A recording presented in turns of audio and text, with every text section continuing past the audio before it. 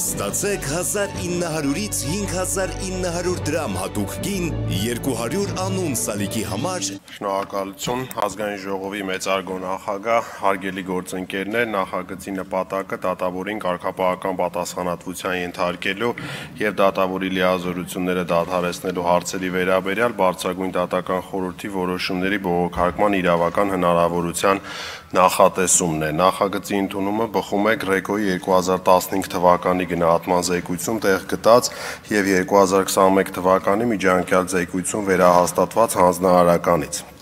համաձայն որի Հայաստանի Հանրապետության օրենսդրությամբ դեռևս հնարավոր չէ բողոքարկել դատավորին կարգապահական պատասխանատվության ենթարկելու վերաբերյալ որոշումները եւ եզրակացրել է, որ այս մասով իր հանձնարարականը մնում է չկատարված։ Նախագծով առաջարկվող լուծումները այս պայն միակ հնարավոր լուծումներն են հաշվի առնելով մեր սահմանադրական կարգավորումները, ինչի մասին նշել է նաև Վենետիկի հանձնաժողովը իր համապատասխան կարծիքում։ Հիշեցնեմ, որ նախագծով դատավորին կարգապահական պատասխանատվության ենթարկելու հարցի քննությունը իրականացնելու է բարձրագույն դատական խորհրդի 4 անդամ ընդգրկող կազմը դատավորին կարգապահական պատասխանատվության ենթարկելու հարցի քննությամբ զբաղվող ԲԴԽ նշված կազմը յուրաքանչյուր կարգապահական վարույթով լինելու է տարբեր